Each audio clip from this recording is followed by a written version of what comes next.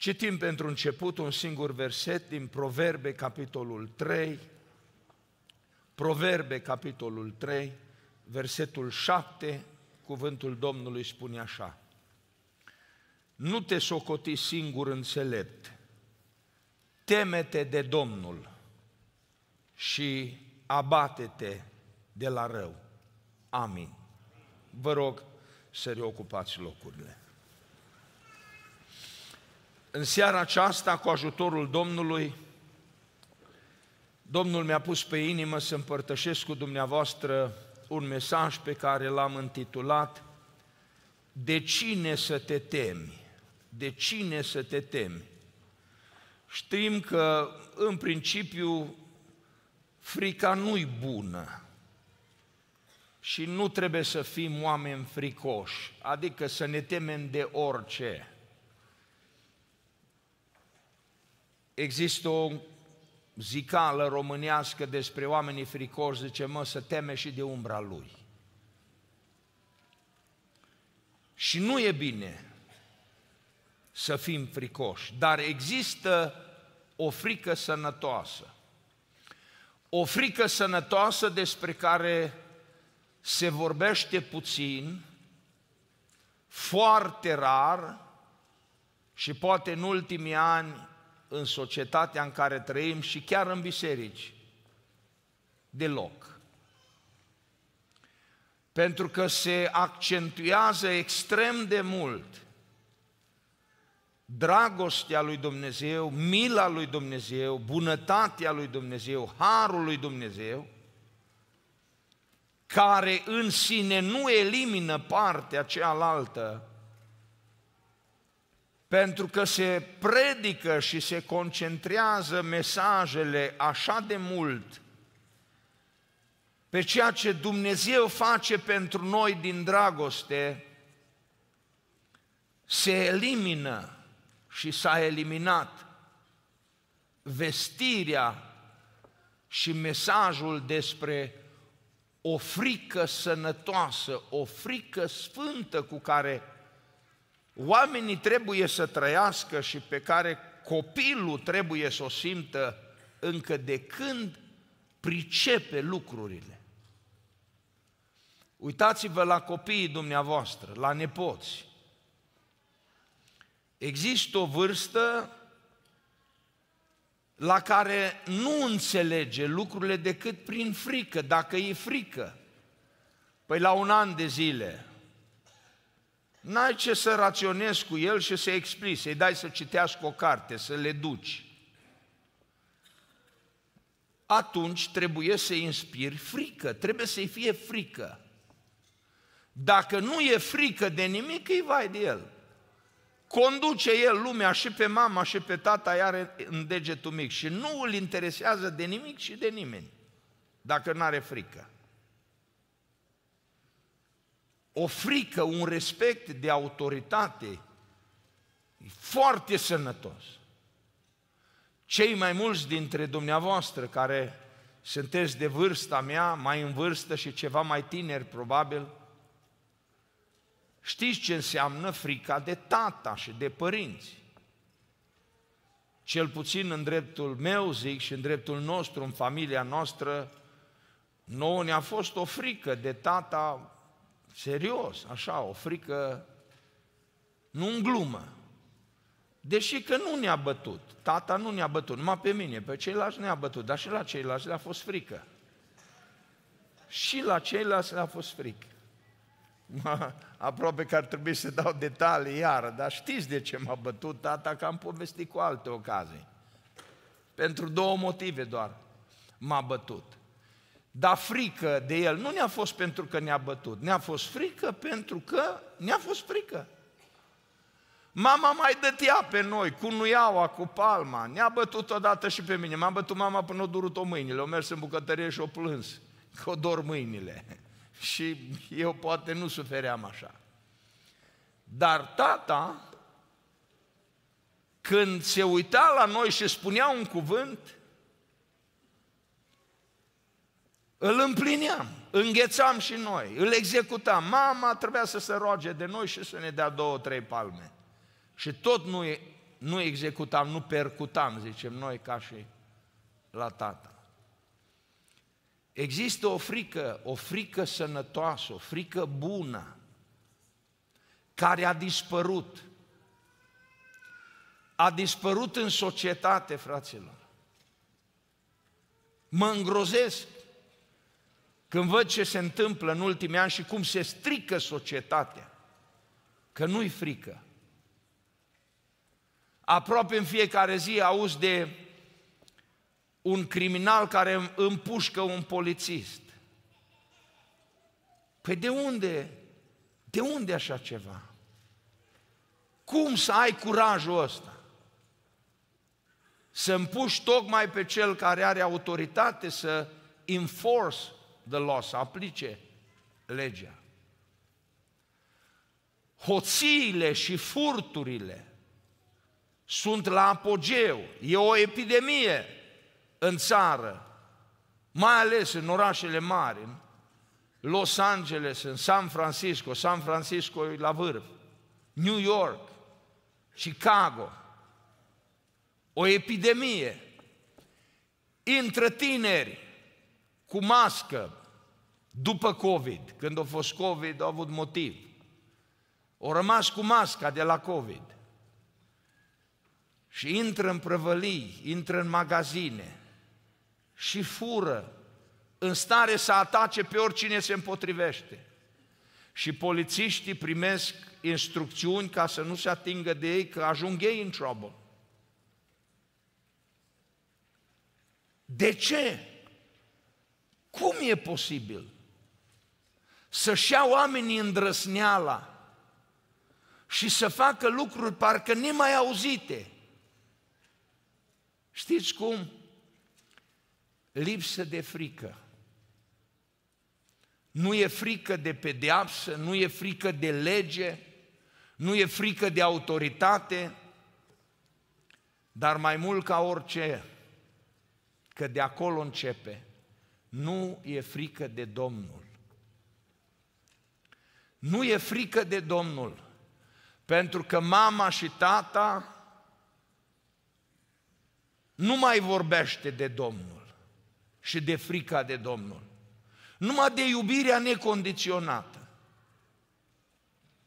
Toată lumea trebuie să iubească copilul, să se închine la copil, dar copilul să nu se teamă de nimic.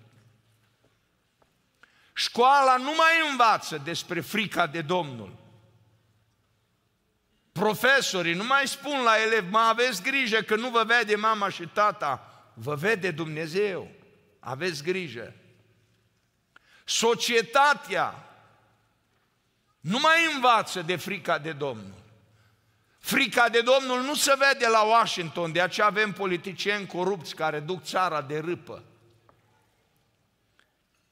Te uiți în lume, în societate și îți dai seama că nu mai este frică de Domnul.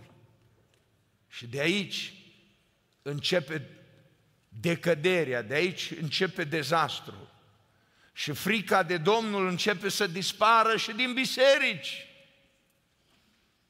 și din biserici, dintre oamenii credincioși, care de fapt sunt caracterizați de frica de Domnul. Scriptura spune, temete de Domnul. Îs nenumărate versete în Scriptură care vorbesc de lucrul acesta. Și trebuie să vă spun la cei care vă veți gândi să acuzați mesajul sau să, să spuneți că ar trebui altfel puse lucrurile. Puneți mâna pe Biblie și vedeți și în Vechiul Testament și în Noul Testament de câte ori se menționează temete de Domnul. Proverbe 24 cu 21, fiule, temete de Domnul și de împăratul. Adică temete de autoritatea divină și de autoritatea pământească, împăratul reprezentând autoritate pe pământ. Temete de Dumnezeu și de lege și să nu te amesteci cu cei neastâmpărați. Eclesiastul 12 cu 13 Să ascultăm, dar încheiere, încheierea tuturor învățăturilor, încheierea, finalul.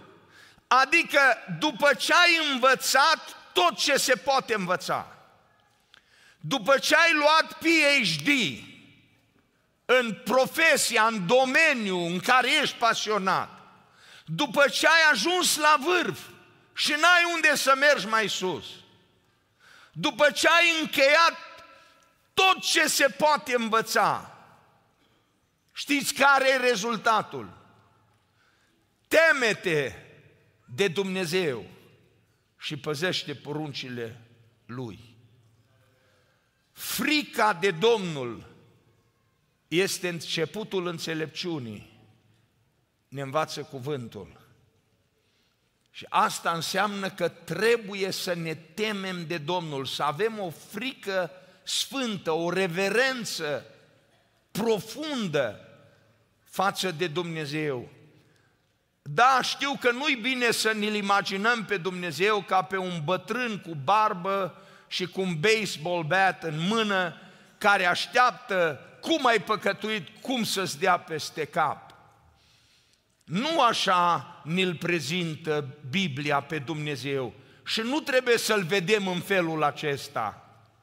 Dar îi mai bine, ar fi mai bine să-l vadă oamenii pe Dumnezeu în felul ăsta decât cum îl văd acum. Prietenul lor, tovarășul lor, Isus e ăla care joacă basket cu ei, joacă tenis cu ei, Isus e ăla care se distrează cu ei, Isus e nobody, e nothing, is my body. E mai bine așa? Sau e mai bine să-L vezi pe Dumnezeu cum este El?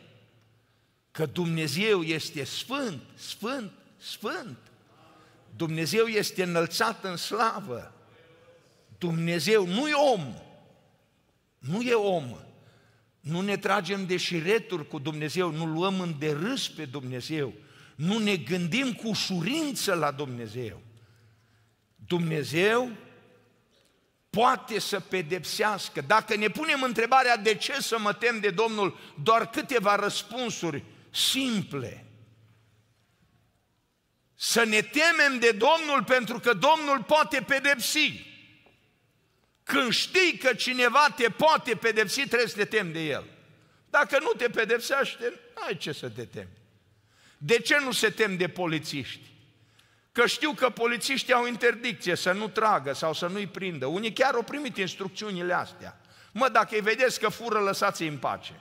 Lasă-l să fure. Și dacă hoțul știe că nu-i pedepsit, cum am zis data trecută, ă, paznicii trebuie să fie dezarmați, ca hoții să meargă liniștiți la furat. Dacă știi că nu este pedeapsă, atunci de ce să te temi? Biblia ne arată că Dumnezeu pedepsește. Trebuie să-L înțelegem și să-L vedem pe Dumnezeu și în felul acesta pentru sănătatea noastră duhovnicească, pentru că așa este Dumnezeu. Dumnezeul nostru, spune Evrei 12 cu 29, Dumnezeul nostru este un foc mistuitor. De ce face referința asta? Că atunci când te gândești la Dumnezeu, să te îngrozești, să intri o frică în tine. Dumnezeu e un foc mistuitor, adică te poate topi, te poate arde. În 2 Samuel 6 cu 8 avem episodul acela tragic în care Dumnezeu îl lovește pe Uza, Uza care vrea să facă un lucru bun. El s-a gândit că e bine să sprijinească chivotul, dar pentru că nu era geabul lui, nu era datoria lui să facă lucrul acesta, Dumnezeu l-a pedepsit pe loc. Du-te și spune-i la uza de dragostea Domnului, de harul Domnului, de îngăduința Domnului, de îndurarea Domnului. Du-te și spune-i la uza despre lucrurile astea. Și uza o să spună, da, e adevărat ce zici. Dar să nu te joci cu Dumnezeu, să nu-L bagi jocorești pe Dumnezeu. Să nu te împotrivești lui Dumnezeu, să nu faci ce nu ți-a dat Dumnezeu, pentru că Dumnezeu te poate pedepsi. Uza era în viață dacă nu se băga în treaba asta. Unii o să ziceți, Vechiul Testament, s-au schimbat lucrurile. Haideți în Noul Testament, fapte 5, de la versetul 3 în jos. Vă mai aduceți aminte de Anania și Safira? În Noul Testament, epoca Harului. De ce credeți dumneavoastră că a lăsat Dumnezeu un astfel de caz în Scriptură chiar la începutul bisericii? În care tocmai se predica atunci despre Harul lui Dumnezeu, despre faptul că Dumnezeu l-a trimis pe Hristos în lumea noastră ca să ofere iertare chiar și neamurilor. Se vorbea, accentul era pe iertarea lui Dumnezeu, pe pocăința care aduce iertare. Și tocmai în acea perioadă, ca nu cumva credincioșii, biserica primară, să înceteze să se mai teamă de Domnul, să înceteze să mai aibă frică de Domnul, ca nu cumva să se întâmple lucrul ăsta, lasă Dumnezeu un astfel de caz în Scriptură. Doi oameni, soț și soție, care sunt omorâți pe loc, mor pe loc în fața lui Petru, pe rând, prima dată bărbatul și apoi nevasta, pentru simplu fapt că au mințit, s-au înțeles ca să mintă. S-au înțeles ca să mintă pentru anumite beneficii, pentru a avea și ei o slavă, să fie și ei mai importanți în biserică, să se anunțe probabil de la Anvon și Anania și Safira și-au vândut averea și-au dat-o toată aici. Să fie și ei pe lista aceea specială pe care a fost Barnaba și-au văzut că la Barnaba îi merge bine și pe care au fost și alții. Și s-au gândit și ei cum să ajungă pe lista aceea. Și au vândut ce au avut, dar au mințit când au zis despre valoare și că ar fi adus totul acolo.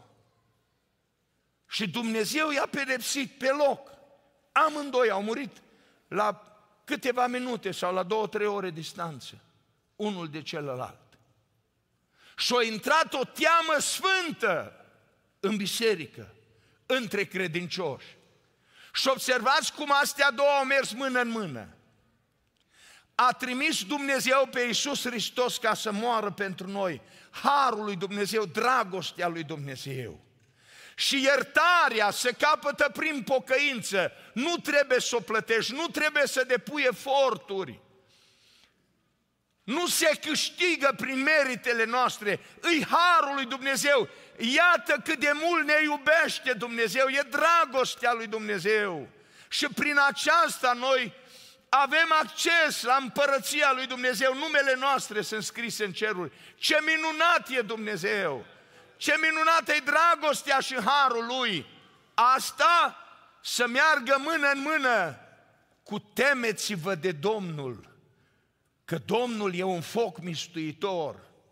Aveți grijă cum vă purtați, respectați legea Lui, cuvântul Lui, căutați să trăiți o viață sfântă.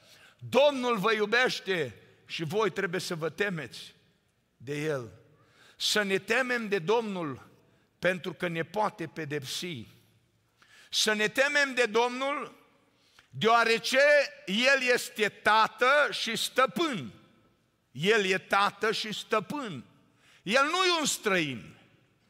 Că de un străin, dacă vecinul zice ceva la copilul tău, pe copil nu prea îl interesează. Vine copilul la mama și tata și zice, mamă, tată, nu știu ce are vecinul cu mine, o striga la mine și imediat intervii. Străinul nu are autoritate la tine în casă. Dar tata are autoritate. Dumnezeu e tată și stăpân. Maliahi 1 cu 6, iată ce spune cuvântul. Un fiu cinstește pe tatăl său și o slugă pe stăpânul său. Dacă sunt tată, unde este cinstea care mi se cuvine? Dacă sunt stăpân, unde este teama de mine? Zice Domnul oștirilor către voi. Și se adresează preoților care ne socotiți numele meu și care ziceți, cu ce am nesocotit noi numele tău? Ce spune Dumnezeu? Dacă sunt tată și stăpân, unde este respectul și teama? Că astea sunt împreună, sunt sinonime. Unde este respectul și teama care mi se cuvin? Matei 10 cu 28. Nu vă temeți de cei ce ucid trupul, dar care nu pot ucide sufletul, ci temeți-vă mai degrabă de cel ce poate să piardă și sufletul și trupul în ghenă. De ce să ne temem de Domnul? Pentru că El este tată și stăpân. Și ca și copii, cum anticipam, cum spuneam la început, ca și copii, a fost sănătos că ne-am temut de tata. Ce părere aveți? Frați și surori mai în vârstă, e sănătoasă frica asta, că te ajută să asculți, te ajută să asculți. E adevărat că după ce ai crescut mare, și când ajungi la nivelul de dragoste desăvârșit, acolo nu mai e frică. Când îl iubești pe Dumnezeu într-un mod desăvârșit, nu mai ajungi la frică. Dar să știți că astea merg mână în mână. Cum scade dragostea, trebuie să urce frica. Și acum, la urma urmei, nu mă interesează de ce n-asculți de, sau de ce asculți de Dumnezeu, de frică sau de dragoste. Important e să asculți. Dacă tu zici, eu ascult de Dumnezeu pentru că îl iubesc pe Dumnezeu într-un mod desăvârșit, aleluia, slavă Domnului. Dar dacă nu poți să-L iubești într-un mod desăvârșit, pentru că încă ești pământean, teme-te de Domnul. Și dacă nu păcătuiești pentru că te temi de Domnul, să știi că nu e un lucru greșit. E foarte bine, e foarte sănătos. Teme-te de Domnul. Domnul este tată și stăpân. Merită cinstea și frica din partea noastră. Apoi, de ce să ne temem de Domnul? Deoarece El îngrijește de nevoile noastre. El se ocupă de nevoile noastre. Psalmul 34 cu 9. Temeți-vă de Domnul, voi sfinții Lui, căci de nimic nu duc lipsă cei ce se tem de El. Extraordinar cum salmistul pune împreună și face dependentă bogăția, acoperirea nevoilor, răspuns la cereri, o face dependentă de frica de Domnul. Temeți-vă de Domnul căci de nimic nu duc lipsă cei ce se tem de El. Adică, dacă ne temem de Domnul, Dumnezeu se ocupă de nevoile noastre. Dumnezeu are grijă de noi. Cred că azi a avut toată lumea ce se mănânce la lanci. Nu vă văd pe niciunul flămânzi. N-apăreți flămânzi. Poate că cineva care e în post și nu arată lucrul ăsta, Domnul să-l binecuvântează. Dar arătăm sătui. Unii poate prea sătui. Arătăm bine. Arătăm îmbrăcați bine. În parcare, dacă ne uităm, n-arată destul de rău. E binișor. Ce înseamnă asta? Că nu ducem lipsă de nimic. Nu ducem lipsă de nimic. Dumnezeu ne-a dat și pâine, și apă, și haine, și casă, și masă, și mijloc de transport. De nimic nu duc lipsă cei ce se tem de El. Dacă tu recunoști că de la Dumnezeu ai și mâncare, și îmbrăcăminte, și sănătate, și ce ai în garaj, și ce ai în casă, și ce ai în bucătărie, e de la Domnul. Temete de El. Temete de Domnul. Pentru că Domnul e Cel care ți le oferă și mi le oferă. E obligația noastră. În felul acesta ne arătăm dependența de El. Când ne temem de El. Doamne, ajută-ne! Frica asta de Domnul se leagă de următoarea frică. Condiționează următoarea frică. Frica de păcat. Cine se teme de Domnul, se teme de păcat. Iată ce spune Exodul 20 cu 20. Ca să vă aduc aminte de context, Dumnezeu s-a prezentat în fața poporului și a vorbit Dumnezeu de pe vârful muntelui, din munte. Muntele s-a cutremurat, un fum a umplut muntele și de acolo răsuna vocea lui Dumnezeu. Poporul s-a îngrozit. Poporul a mers la Moise și a zis, Moise, îi vai de noi, murim dacă tot așa ne vorbește Dumnezeu. Să nu mai vorbească Dumnezeu în felul acesta. Cred că tremura fiecare fibră din ființa lor, cum spunem noi și pantalonii pe ei tremurau. Tremurau toți din cap până în picioare când au văzut prezența, puterea și slava lui Dumnezeu și au zis lui Moise, nu mai vrem să ne vorbească Dumnezeu în felul ăsta, că murim. Să-ți vorbească ție doar, să-ți vorbească ție și tu să ne transmiți nouă că acum am văzut slava și puterea lui Dumnezeu și nu vrem lucrul ăsta în felul ăsta. Și iată ce răspunde Moise în 20 cu 20.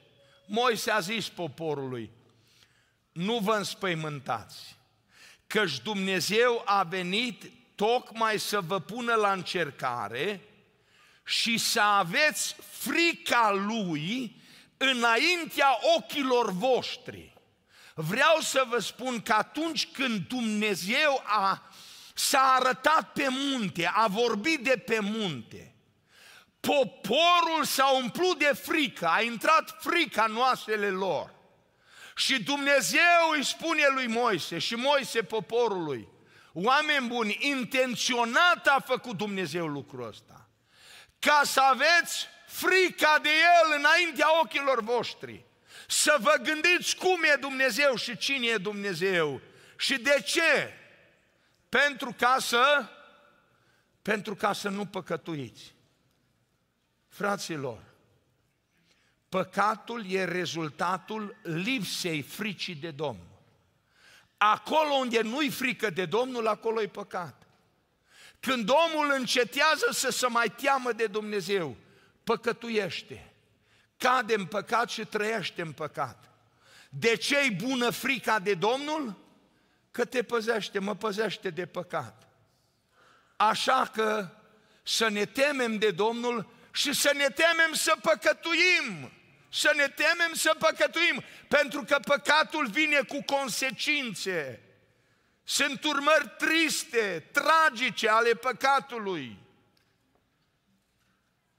Dacă ne temem de Dumnezeu, ne temem de păcat și de consecințele păcatului. Toți cei care am avut o experiență, mai în tinerețe sau mai târziu, vedem ce grozav, ce trist, ce apăsător este să treci prin consecințele unui păcat. Unii care cad la 15 ani, la 17 ani, la 20 de ani tineri care trebuie să, să plătească în urma păcatelor lor. Îi mulțumim lui Dumnezeu că cele mai multe păcate sunt iertate, uitate și nu trebuie plătit pentru ele, dar sunt multe pentru care trebuie plătit. Astea se numesc consecințe ale păcatului. Când un copil e mic, frica îl păstrează, îl ține atent și își păstrează distanța de păcat. Când a crescut mai mare, înțelege mai bine capacitatea lui, crește și poate, prin înțelegerea pe care o are, fără ca să se mai teamă, să împlinească voia lui Dumnezeu, ca să mă fac înțeles. Eu nu mă duc să sparg o bancă pentru că mi-e frică de lege. Zic, bă, nu mă duc, nu mă duc, că mi-e frică, da, dacă mă prinde. Eu nu mă duc pentru că știu că e rău. N-am ce să caut, nu mi-aparține. Înțeleg că lucrul acela e rău, e greșit, e păcat. Nu frica de pedeapsă. Când omul e mare, înțelege și pentru că are capacitate acum și face lucruri bune și se păzește de rău, de un astfel de rău, pentru că știe că e greșit.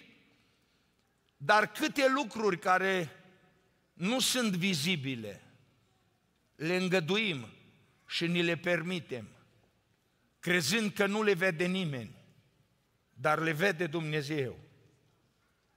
Temete de Domnul și de păcat. Cei care se tem de Domnul se tem de păcat sau de săvârșirea păcatului. Și al treia și ultima, pe care o amintesc în seara asta, care se leagă de prima și de a doua, este să te tem de întuneric. Mă, să te tem de întuneric. Nu știu de ce, probabil că întotdeauna a fost așa, dar acum văd mai mult. Că așa de mult iubesc oamenii noaptea. Noaptea.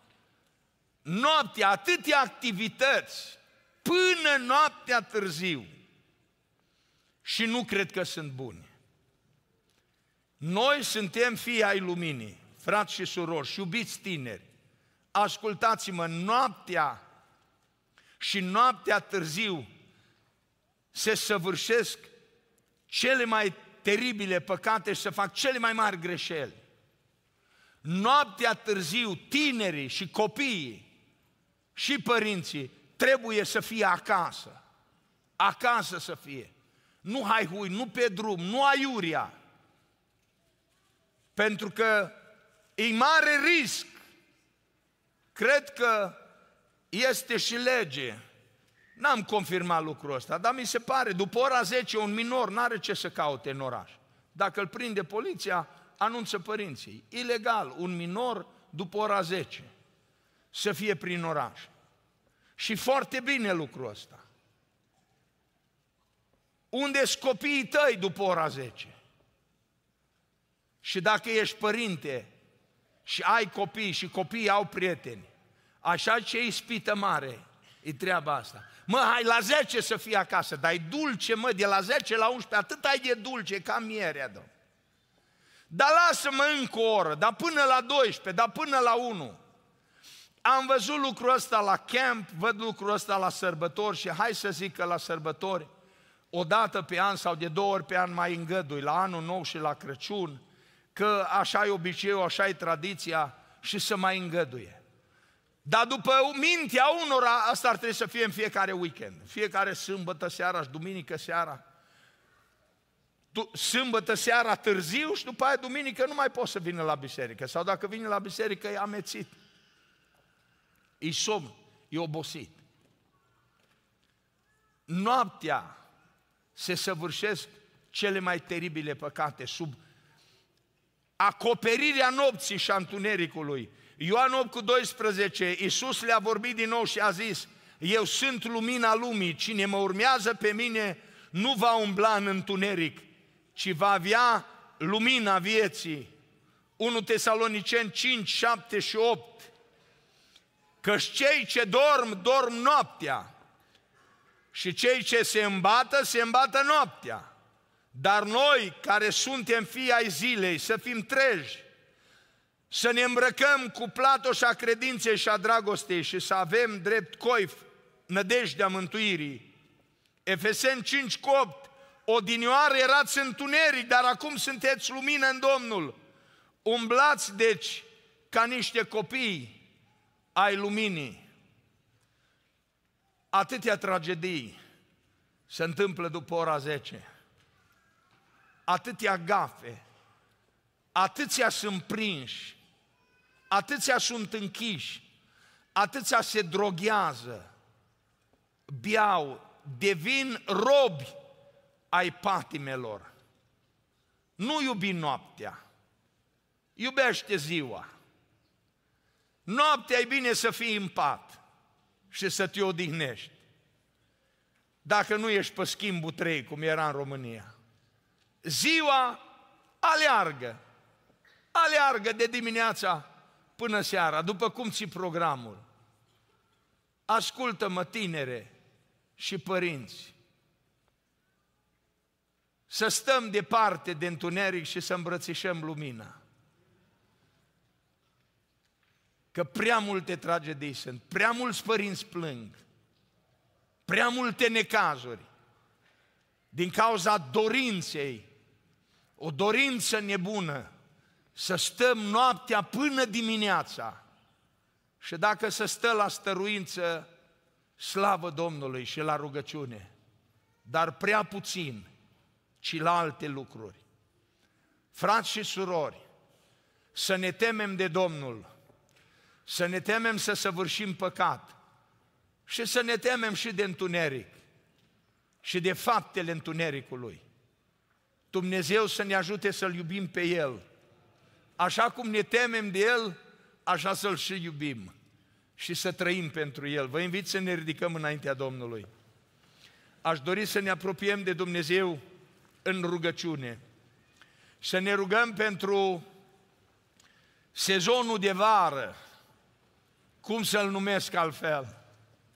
Și o să vedeți că copiii nu mai merg la școală și nu o să vrea să meargă seara la culcare și va fi multă ispită și mult necaz.